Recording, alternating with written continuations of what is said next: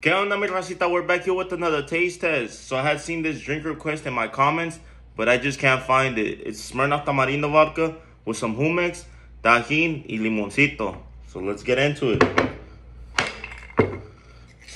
Got the vodka right here.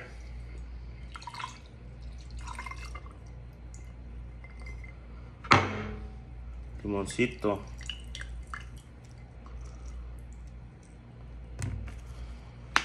Some Tajín in that. El Jumex.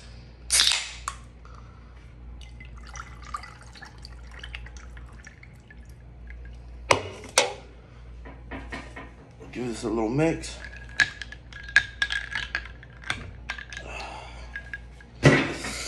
Cheers.